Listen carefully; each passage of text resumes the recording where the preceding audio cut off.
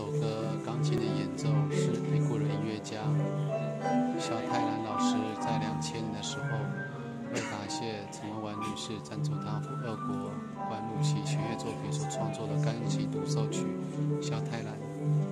那这曲富有台湾的乡土味，富了温暖旋律。在今天的晚上，玉山星空演唱会，二零一八年三月十号，今晚参与是钢琴老师这首献给同柏林导演，欢迎欣赏。